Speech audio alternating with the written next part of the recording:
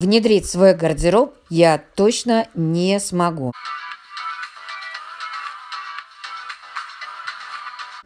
В топку их надо оставить. Правы.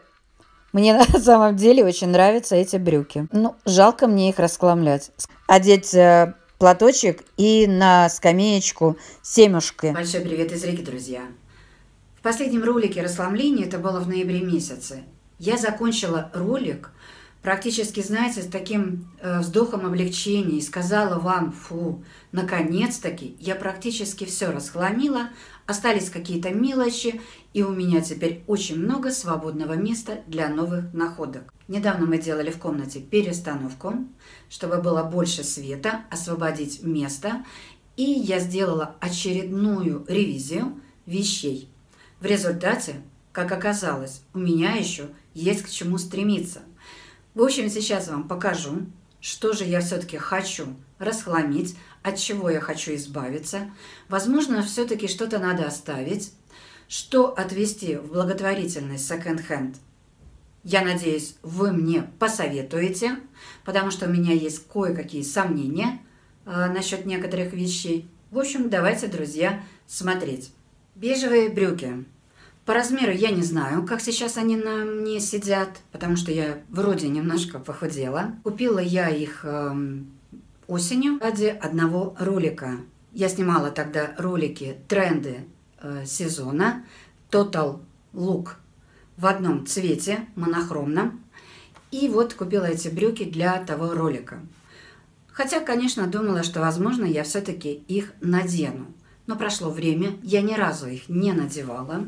У них очень хорошая модель, высокая, вот здесь посадка, и резиночки здесь. Но я их расшила, эти брюки, вот в поясе, потому что мне они на тот момент очень жали именно пояс. Здесь все было отлично, а в поясе жали. И, конечно, сейчас у них вид. Вот здесь, знаете, все видно что их не отвезешь в благотворительный секонд-хенд, и у меня единственная мысль – только вынести их на мусорник. Жилет цвета Camel. Великолепный состав ткани. Купила я этот жилет только для одного ролика. Это был тренды сезона э, в бежевом цвете, монохромный образ. После ролика я его положила в шкаф, и благополучно он у меня пролежал достаточно длительное время. Ну, я, в общем-то, надела вместе эти брюки э, бежевые, светло-коричневые и жилет. Жилет, кстати, на мой взгляд, просто идеальный кэмел цвет. Э, вот просто супер. Ну, там э, паховая зона слишком обтягивает. В общем, внедрить свой гардероб я точно не смогу. Кстати, воротничок в этом жилете очень хороший. Даже не воротник, а вот э, вырез он закрывает э, все, что надо закрыть в нашем уже возрасте. Джинсы с ликрой, достаточно плотные, интересная модель, интересная расцветка. Купила я их э, в позапрошлом летом, когда знакомилась с Ренатой, мы гуляли в Киломаксе, и вот там я их купила. За это время, сколько прошло? Года полтора-два, я ни разу их не надела. А джинсы мне эти маленькие. Вот представляете, это всего два года назад, когда я их покупала, когда мы с Ренатой гуляли по секонду. Мне эти джинсы были хорошо.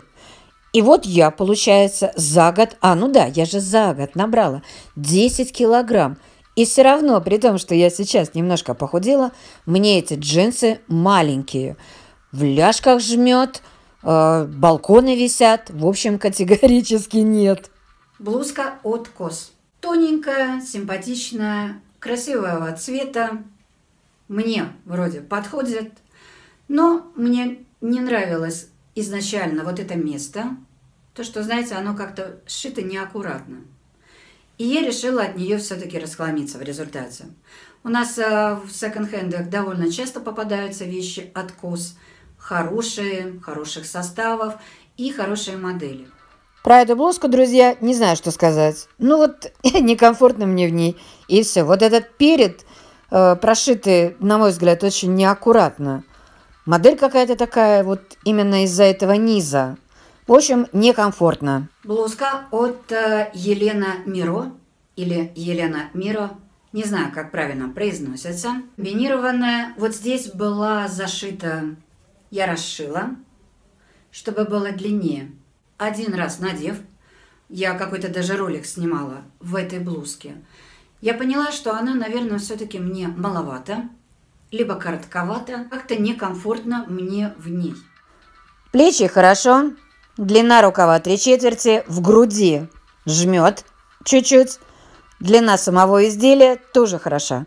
По цвету комбинированная блузка вроде неплохо, но, знаете, вот иногда ты думаешь, господи, ну чего ты это купил? Деньги вроде, ну, небольшие совсем. Но зачем ты это купил? Бархатное платье, футляр, без рукава. Купила я это платье в ноябре прошлого года. Специально для встречи Нового года. Ну, так как я болела, Новый год э, встретила дома, можно сказать, э, на диване, то это платье я никуда еще не надевала, и я так понимаю, что не надену.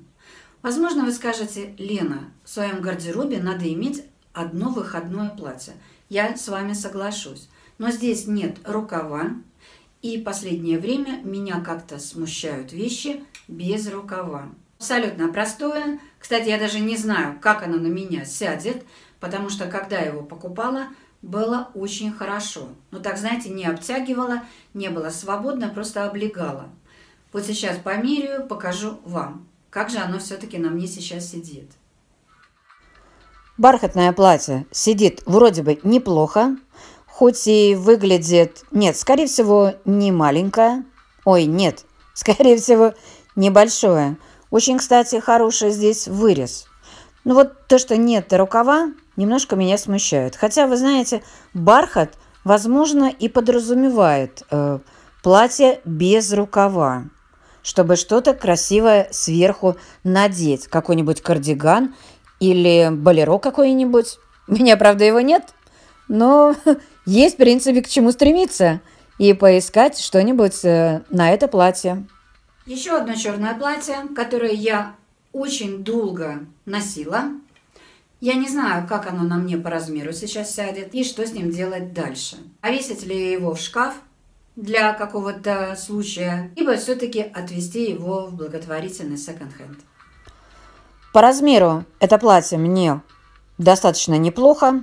Модель у него хорошая, мне нравится. Три четверти рукав. Вероятно, оно мне просто как-то, знаете, поднадоело. Потому что я его достаточно за года два, или сколько я его там купила назад, я его достаточно много носила. И недавно мне комментарий написали под каким-то, по-моему, Total Black э, роликом, что «Лена, вам надо носить длину ниже колена». Я с вами категорически не соглашусь, вот просто категорически. Не потому, что даже мне, а женщинам моего роста, а у меня метр пятьдесят восемь, категорически, на мой взгляд, нельзя носить платье вот сразу ниже колена. Либо вот такой до колена, либо уже миди. Потому что, на мой взгляд, длина платья вот сразу ниже колена – однозначно прибавляет возраста. И даже не говорите, что там надо каблучок носить и, знаете, вот все остальное. Наша современная жизнь подразумевает кроссовки, кеды, а каблучок либо в офис, либо на праздник. Я большая любительница шапок, которые практически не ношу. И у меня, смотрите, собралось очень большое количество шапок. Причем вот такой модели, и практически все серые. Единственная черная, с такими вот э, камушками, зачем купила, не знаю.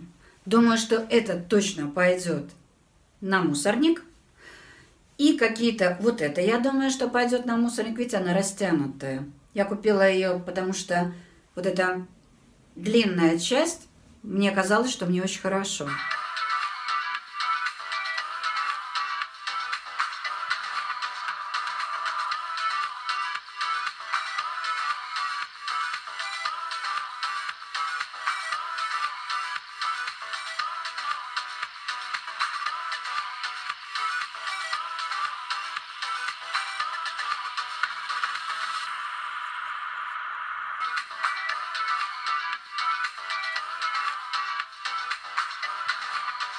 Голубые джинсы, купленные в секонд-хенде в мужском отделе. В винтажной хумане.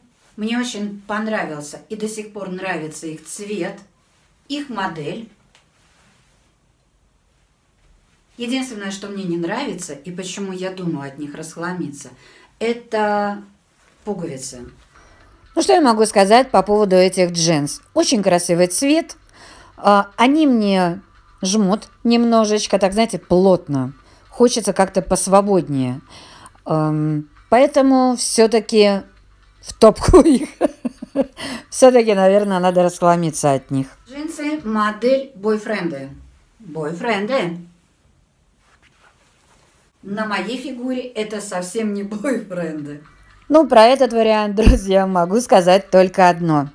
Женщины, покупайте джинсы в мужском отделе, и будут вам бойфренды.